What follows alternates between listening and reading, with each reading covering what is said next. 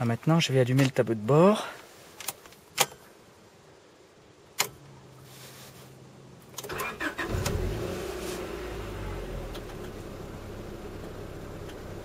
Voilà, donc il reste le bouton rouge qui correspond à l'ouverture des portes et le frein de, stationnement. Voilà, on peut voir à droite la température d'eau et à gauche la réserve, le niveau d'essence et l'heure à droite. Maintenant, on va aller voir le moteur.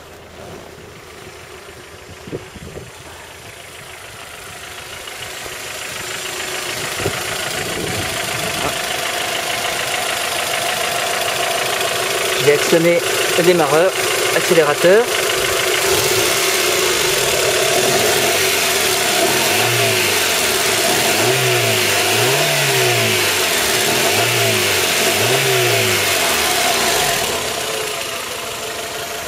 Voilà, ça tourne comme une horloge. C'est du moteur Honda.